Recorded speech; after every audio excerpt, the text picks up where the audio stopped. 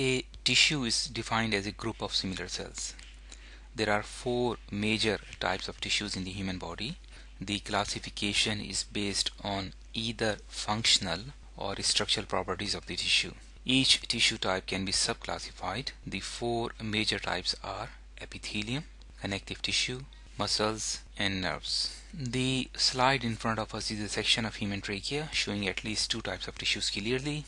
The tissue that covers surfaces of the body such as skin or lines the cavities that communicate with outside such as respiratory system, digestive system and uh, urinary system is known as epithelium. Epithelial cells create a boundary or a barrier between the open surface and connective tissue underneath. Epithelial cells have to be closely located in rows and thus lie adjacent to each other, creating a single or multiple layers. All these cells are closely packed. Intracellular space is very minimum. Subclassification of epithelium is based on either shape of the cells such as squamous, cuboidal or columnar and whether the cells are arranged in a single layer or multiple layers. If the cells are arranged in a single layer, epithelium is called if the cells are arranged in multiple layers, the epithelium is called stratified. Squamous means flattened. These cells are arranged like tiles over the floor to provide a smooth surface. Cuboidal cells have the same heights and widths like cubes.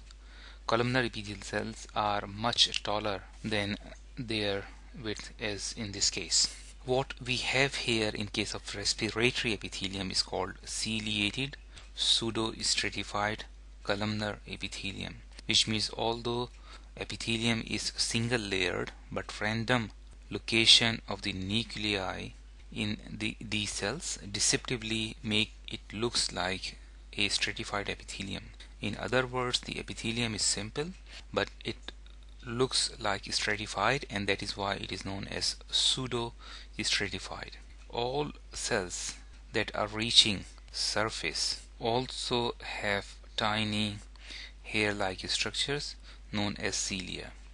All these cells are attached to the basal membrane although some cannot reach the surface. The ones that cannot reach the surface are known as basal cells and these are stem cells that eventually mature into different types of mucosal cells. They can mature into columnar epithelial cells or goblet cells for example.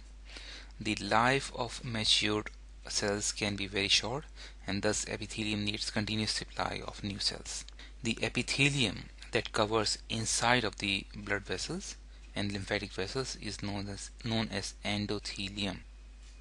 You will often hear a word mucosa. Mucosa refers to at least three different layers of tissues, namely epithelium, which can be with or without glands, a basement membrane, which supports and holds epithelium, and a layer of underlying connective tissue which is also known as lamina propria. It also sometimes includes a deeper layer of smooth muscles.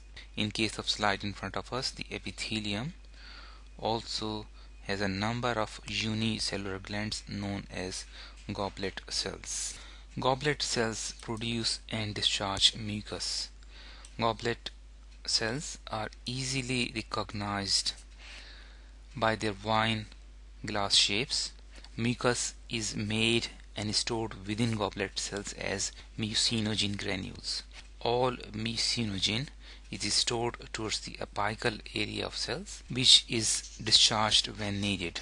But because mucinogen is water soluble and it is lost during H&E staining, the space within goblet cells appears empty. Their nuclei are flattened or triangular in shape so this is a nucleus of a goblet cell this is another one here so these are triangular and flattened in shape mucus is a thick fluid which contains special proteins coated with sugar. Mucus performs several important functions such as lubrication, trapping of pathogens, and dust particles in respiratory mucosa. Excess production of mucus or accumulation can also create infections or other problems. For example, in case of asthma, mucus can actually block a lobe of lung and prevent air entry causing partial lung collapse. Although the slide in front of us is taken from trachea, but nearly all of the air conducting portion is lined by ciliated pseudostratified columnar epithelial cells and this remains almost unchanged as we go down to large bronchioles. However, number of goblet cells decreases. Ciliated epithelial cells can be present even in respiratory bronchioles to prevent mucus accumulation in alveoli. Cilia keep pushing mucus towards the mouth.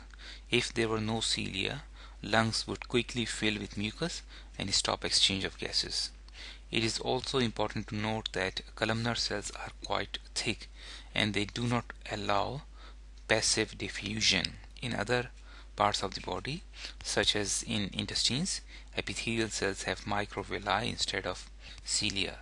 In intestines epithelial cells use a system known as active transport to transport nutrients from intestines to venous blood the process in simple words is known as absorption Lamina propria.